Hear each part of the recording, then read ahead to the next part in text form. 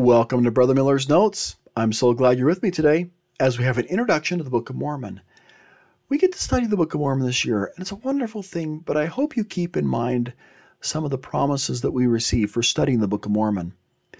President Russell M. Nelson has given maybe a couple of those promises to us when he said, My dear brothers and sisters, I promise that as you prayerfully study the Book of Mormon every day, you'll make better decisions every day.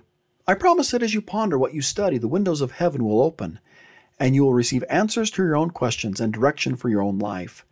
I promise that as you daily immerse yourself in the Book of Mormon, you can be immunized against the evils of the day, even the gripping plague of pornography and other mind numbing addictions. One of the things I think is very helpful as you start your study of the Book of Mormon is to think about what helped the Book of Mormon authors determined what they wanted to include in their records. Really, it's the why they're including what they're including. I have a little list for you from the words of the author themselves. What helped them include or determine what they should write in their records? In 1 Nephi chapter 1 verse 20, you get the very first chapter. Nephi says, "Here's one of my purposes, to show unto you the tender mercies of the Lord." And you get the Book of Mormon ending in chapter 10 of Moroni mentioning the tender mercies as well. They're bookend topics. And maybe there's that idea that Nephi says, I'm going to show you. And at the end, Moroni says, Hey, haven't you seen all these tender mercies that the Lord's given? We should keep those in mind as we're praying about the truthfulness of the Book of Mormon. That's chapter 10, verses 3 through 5. In 1 Nephi 6, 4 through 6, Nephi indicates that one of the purposes is to persuade that everyone can come unto God and be saved. And if we skip to chapter 4 of 2 Nephi, verse 15, it's not just the everyday things, the common things, the things that are cute or nice. It's the things of his soul, is what he's including.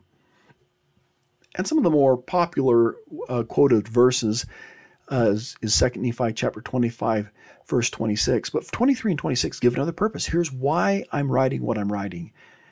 He says, I write to persuade our children to believe in Christ.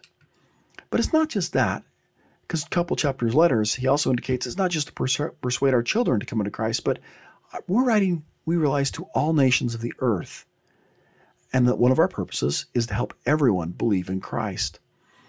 The great editor Mormon, in Words of Mormon, he wants to indicate here's why I'm doing what I'm doing.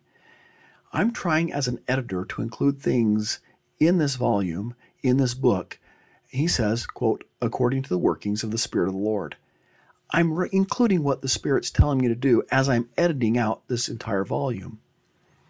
In 3rd Nephi chapter 16, there is an indication that one of the reasons why is to make sure that Christ's words be kept and be manifested on the Gentiles. We got to record, record the words of Christ. And Moroni, chapter 1, verse 5, 4, sorry, 1 verse 4, it's at a time at the end of a nation, an end of dreams, and and he realizes this is really going isn't going to go to my children, but this is going to going to go to the world, and I want it to go and have things of worth unto my brethren. Okay, we've got the whole nation, and, and even it's going to go any of my well distant relatives, Lamanites, whoever it is.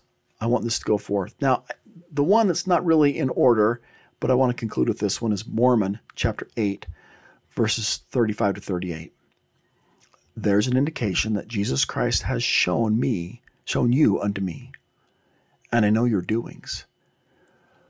What helps Mormon as an editor is to realize what we're, a little bit of what we're going through. He's shown what's happening, and he's trying to determine by the Spirit what to include that would help us in our day. I want to include one last message of the why we have the Book of Mormon. And the last message, the last words written on the Book of Mormon were not Moroni chapter 10.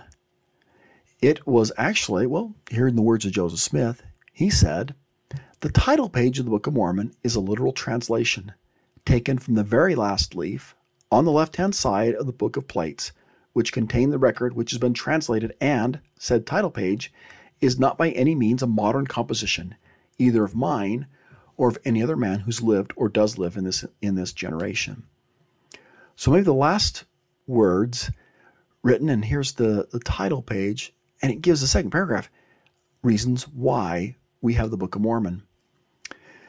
And so I'm just going to highlight it as I, as I read through this second paragraph. The Book of Mormon is an abridgment, includes abridgment, Book of Ether also, which is a record of people, Jared, who were scattered at the time the Lord confounded the language of the people when they're building a tower to get to heaven, which is, and he says, okay, here's why, reasons why we have the Book of Mormon, to show.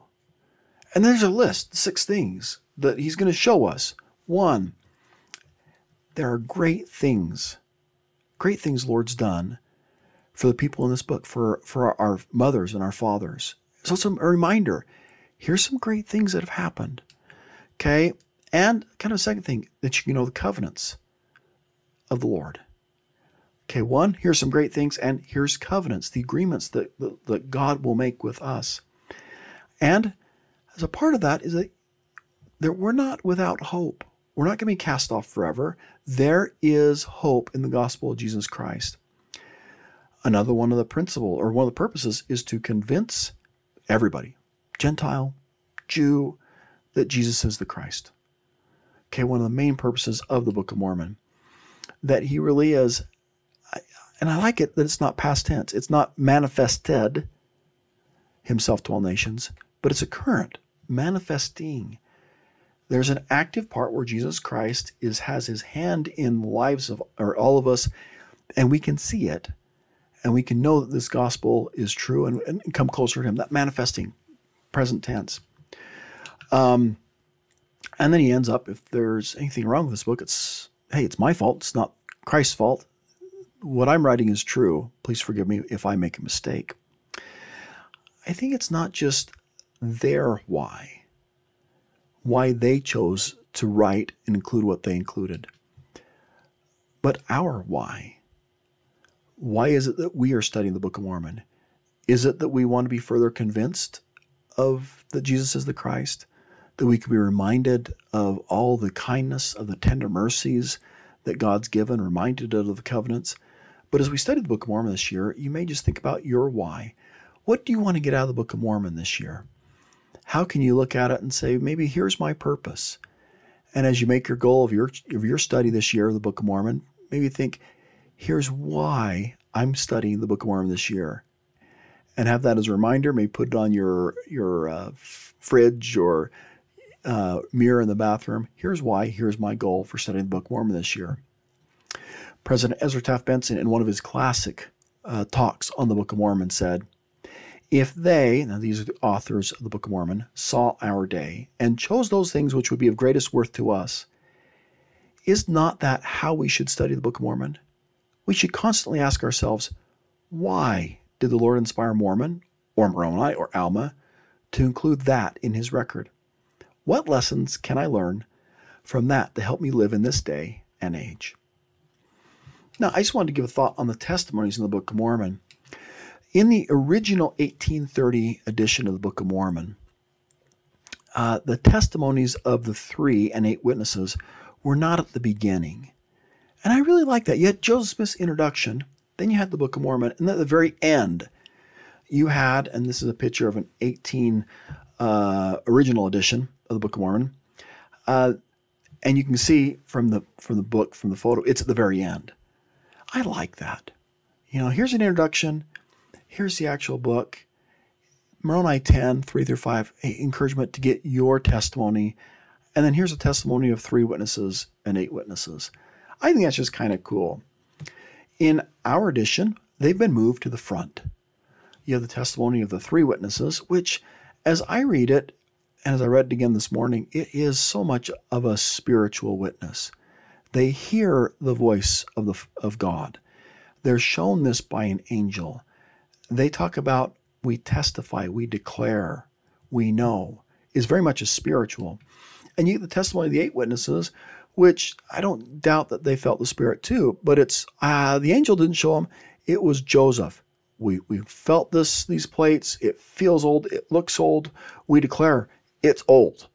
We know what we saw and we know it's true. So there's also that little bit of element of we have a testimony uh, that we know it's true, but it's also it's hard. It's physical evidence. You also have the testimony of Joseph Smith, which is a background to a testimony. But once again, I, I love the idea. You got three, and then you got eight. There's eleven. You got Joseph. There's twelve. I like that idea of a of a quorum of a of a testimony, a completion of a testimony, a, a testimony with power. But really, it doesn't matter if they know it. It's do we know it? We can know the Book of Mormon's true.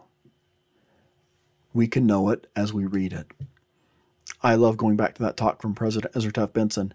The major mission of the Book of Mormon, as recorded on its title page, is to the convincing the Jew and Gentile that Jesus is the Christ, the eternal God, manifesting himself unto all nations.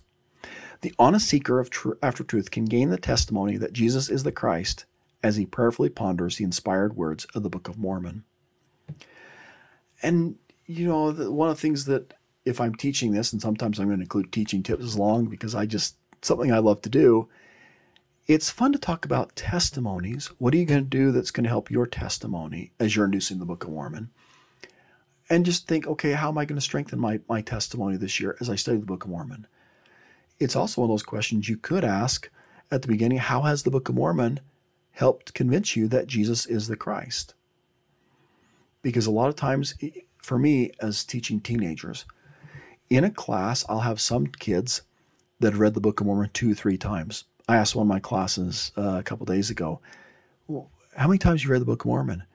Uh, how many read it five or more times? I had a couple of them that read it four or five times. And I had about third to half the class that have never read it. So it may be one of those times where people who have read the Book of Mormon, or if you're with adults, they can give you a lot of answers on this one. And I want to conclude one other thing that's in the introductory materials uh, in teaching youth, I'll talk to them, I'll show them a picture of an arch like this and talk to them about what a keystone is. And you've seen arches like this. Here's this this uh, this stone right here is the keystone. It distributes weight to the left side and the right side of an arch, and that's why you go to so many of these ancient sites or see pictures of them. And the rest of the building's uh, destroyed, but the arch still remains because it's distributed the weight pretty evenly. Well, Joseph Smith said this classic statement about the Book of Mormon. I told the brethren that the Book of Mormon was the most correct of any book on earth and the keystone of our religion. And a man will get nearer to God by abiding by its precepts than by any other book. And it's just fun to talk about how the Book of Mormon is the keystone of our religion.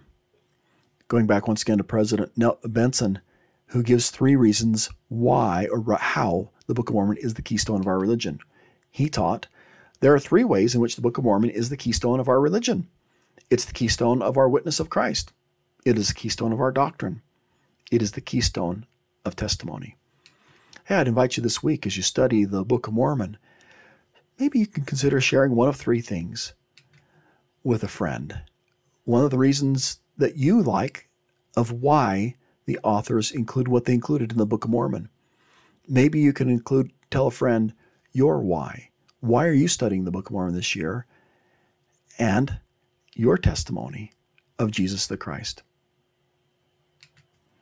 Now, a couple notes. Uh, just I'm always interested in your thoughts or thoughts, comments, and suggestions. Um, in one of my YouTube videos, just want to do a shout out. I had one of my former students just make a note and a compliment. I appreciate that. Thank you so much. So if you want to make a note on YouTube, uh, if you're subscribed, great. That'd be great. I think off the left here, I've got the, hey, here's another video you can look at. And, or here is uh, subscribe if you'd like to. You're also welcome to reach out to me on my brother Miller's Notes Twitter handle. That's at bro, bro Miller's Notes, at bro Miller's Notes. Just starting that up. So thanks. If you want uh, to work ahead, these are these videos are coming out the week before we do the Come Follow Me curriculum. But if you want to be ahead, if you're a teacher and want some notes from four years ago, all of my videos and all the quotes are available at brothermiller.org. Thank you so much for spending a little time with me with Brother Miller's Notes. Have a great day. Keep smiling.